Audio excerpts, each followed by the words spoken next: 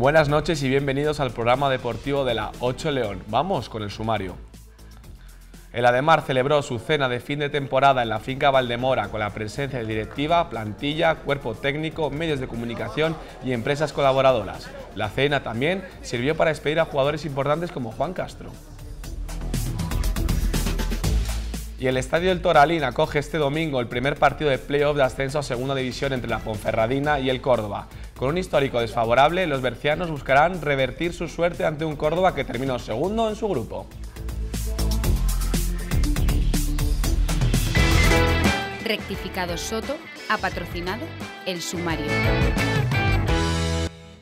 Y como contábamos en el sumario, el Ademar pone punto y final a su temporada con una emotiva cena de despedida en la finca Valdemora de la Bañeza, donde se reunió toda la familia de Marista. La velada sirvió para agradecer el apoyo recibido y despedir a jugadores emblemáticos como Juan Castro, mientras el club mantiene la esperanza de una posible invitación para competir en la Europa en la próxima temporada.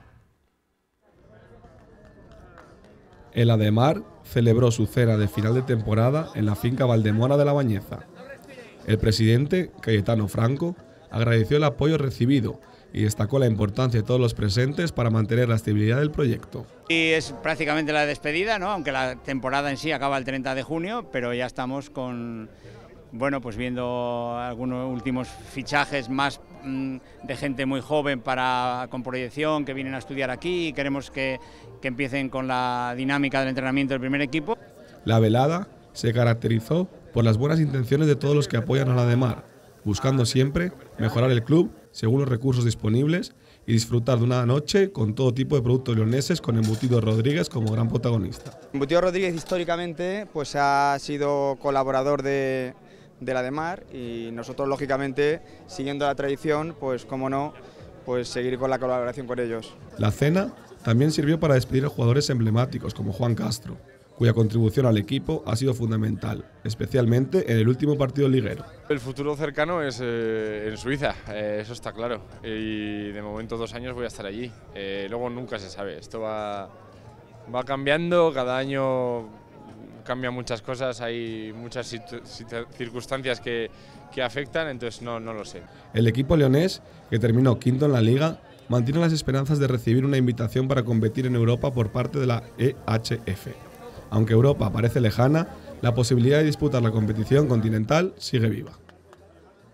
Y la cultural sigue moviendo los despachos y Aarón Rey no continuará en el equipo leonés en su proyecto para la temporada 2024-2025. Aarón es la primera baja en la plantilla leonesa. El miércoles la cultural anunciaba la renovación del lateral venezolano Víctor García y en menos de 24 horas después del club informaba la marcha de Aarón, cuyo contrato expiraba el 30 de junio de este año. El jugador gallego deja de vestir la camiseta culturalista después de una temporada en la que ha jugado 33 partidos, de los cuales 18 como titular.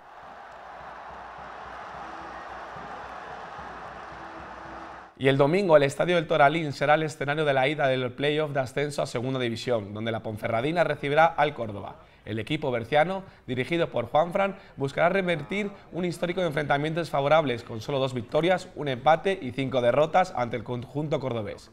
El Córdoba llega a este duelo tras finalizar en la segunda posición del grupo de la Liga, lo que añade un desafío adicional para la Ponferradina. Sin embargo, la motivación del equipo local es alta y espera un gran esfuerzo para obtener un buen resultado que les permita encarar con confianza el partido de vuelta el 9 de junio en el Estadio Nuevo Arcángel.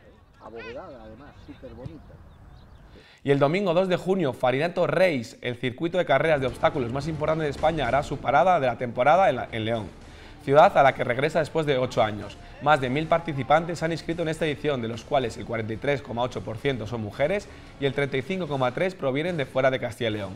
La caravana Farinata llega a León tras su éxito en Cangas de Onís, Alcobendas y Mérida. La acampada se realizará a orillas del río Bernesga, en un entorno natural único que permitirá a los asistentes disfrutar de las vistas mientras superan los diferentes obstáculos en un recorrido aproximadamente de 7 kilómetros. La salida y la meta estarán bajo el Puente de los Leones.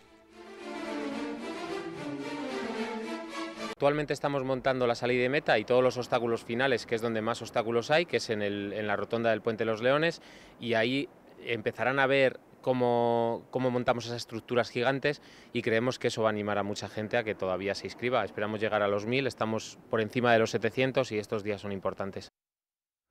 Y hoy estrenamos en este programa una nueva sección. Con una trayectoria impecable en el mundo del jiu-jitsu brasileño, viene Marcelo Morín, de León Fight Club de Artes Marciales. Buenas noches, Marcelo. Buenas noches. Cuéntanos, ¿qué vemos en tu gimnasio? ¿Qué hay? Bueno, en mi gimnasio se ve muchas modalidades de combate, también una sala de fitness para preparación física.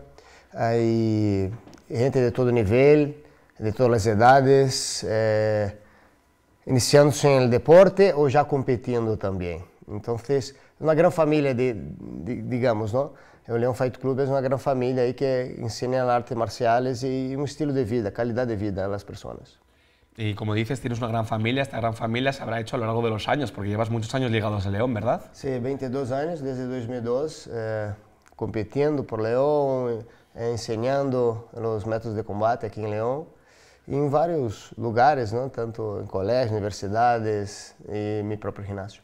Y como hemos comentado, eh, debutas en esta casa en, la, en, una sección nueva. Cuéntanos, ¿qué vamos a ver en esta sección? Vamos a ver técnicas, vamos a ver esas modalidades, lo que impartimos, ¿no?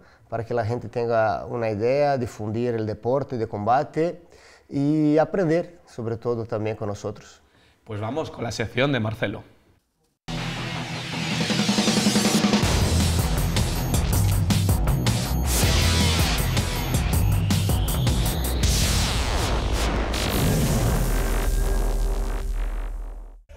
Olá, hoje vamos a conhecer as cinco distâncias que um lutador deve aprender para poder entrar em combate. Quais são? Distância de segurança, onde não há nem risco de golpeio. Larga distância, onde entra as pernas. Média distância, onde entra os golpes de manos corta distância onde entram os golpes de rodilha, de codo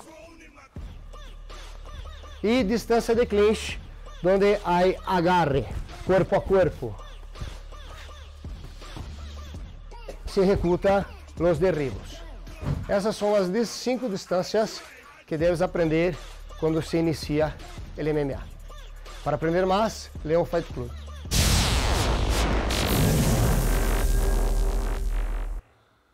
Bueno, y esta es la sección que veremos a partir del viernes, todos los viernes, e invitamos a la gente que lo vea, ¿verdad? Sí, está muy bien, sobre todo a gente que no conoce nada sobre este tema, es una pequeña introducción, ¿no? Y quien tiene interés que se acerque ahí a nuestro gimnasio para aprender más. Así es, nosotros te damos las gracias, nos vemos el viernes que viene y muchas gracias por acudir al plato de la 8. Gracias a vosotros, hasta pronto. Nosotros nos despedimos aquí y nos vemos la semana que viene con más deporte. Que pasen muy buen fin de semana.